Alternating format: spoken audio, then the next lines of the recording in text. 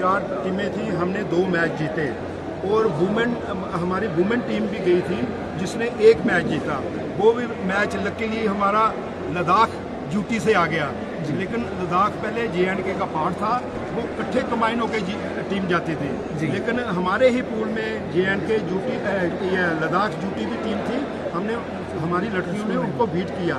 तो वैसे हमारी लड़कियाँ सब जूनियर में भी जा रही हैं जूनियर में भी जा रही हैं सीनियर में जा रही हैं।